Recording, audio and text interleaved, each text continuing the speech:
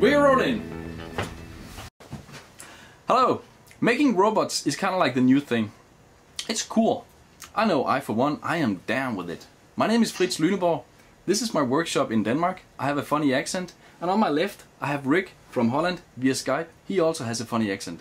Rik, tell me, what's the latest in hobby robo robotics? Let's talk about this robot Patrick built. Patrick is from Florida and there's a lottery over there.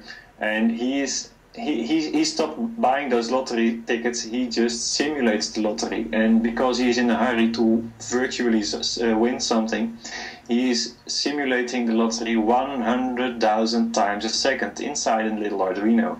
So what he's done is he's made a machine that is actually simulating the uh, the lottery, and it's drawing and it's drawing 100,000 times per second, and and he's uh, purchased six or five uh, virtual uh, numbers, and and he's doing the lottery over and over again, but he still haven't won. Okay, what else have you got for me, Rik? I've got a, a, a robot boat, or um, yeah, well, let's call it just a robot boat. All the puns, and it, it's uh, Mr. built by uh, Geir Andersen, and it, the the boat is beautifully made, and it it it it it, it steams around on the lakes, uh, mapping out the, the, the depth, the water depth, or rather the, the, the floor of the lakes and, and the fjords and, and the sea where it's uh, sailing, and it's remembering all that. It's doing it autonomously and it uh, gives you very precise maps of the, the, the floor of the, the, of the lake, which is for geologists and hydrologists very important and interesting data.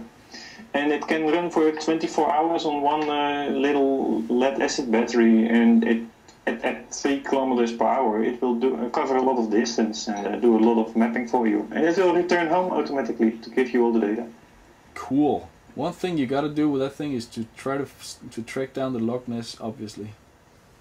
Yeah, and see if anything is moving. No. Okay, what else have you got? I think I think Nessie is a robot. When when you finally find her, she turned out to be an 18th century robot or, something uh, designed by Leonardo da Vinci, I bet. okay, what else have you got for me, Ray? Uh, uh, have you ever heard of a splat bot? A, a splat, bot. Oh, this is Oddbot's thing. Yeah, Oddbot yeah. is doing some cool stuff. He's he's from China, right? No, actually, he's from. Oh, he's from, he's from Australia, obviously. He's, he's, from Australia, but he's working in China doing robots yeah. for for for Dagu now. I mean, speaking of funny accents. Speaking of funny accents, yeah, and and this uh, robot that is made here, the Splatbot Mark II. Uh, what does yeah, it? What's it do? It, it, it, it, has two bottles with uh, with water, and it can squirt them out using a little uh, windscreen washer uh, pump motor from a from a car. Uh, it is on sitting on a, a six-wheel uh, platform. It drives around, and it has a, a, monitor arm like on a fire truck, and it can splat all its water uh, around. And if you put a little color in the water, you could use it to to write in in the center on the wall and it has also uh, an infrared uh, detector so that it can uh, actually observe all kinds of objects and follow them around. around. This it kind of reminds me of something that, that I'm doing when it's snowing. Next project of this week, it's a musical entry. Uh, it's by Mr. Goose. It's pretty cool. Let's just try to have a listen to what kind of music it makes.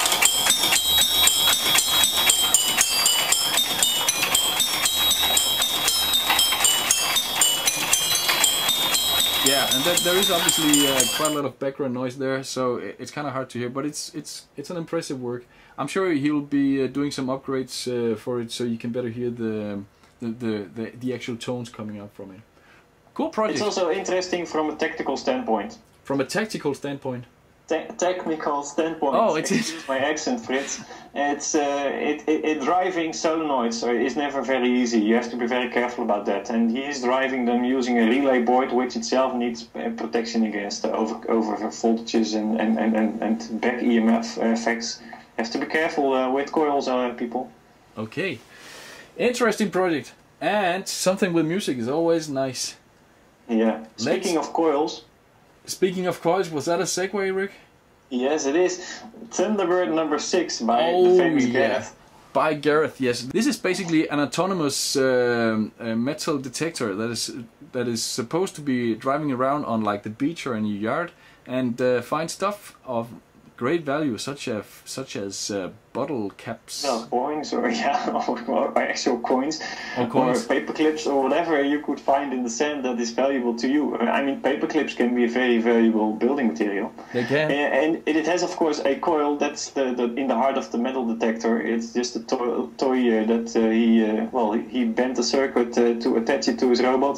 He's added a servo to sweep the, the detector over the ground and he's built a little tractor robot that is driving it around. And well, if everything goes to plan, this robot will one day um, uh, find enough money to fund itself. I love this project. I, I, think it's a very cool concept. I would like to have that one. And it, it's looking cool as well. It's looking cool as well, but I think this robot would, would make a, a great sales object as a toy or something. Imagine you, you could just go ahead and buy a robot that you could put down on the ground and it, it would just drive out and it would stop beeping, stop beeping when it when it found stuff. That would, it would just be an awesome product.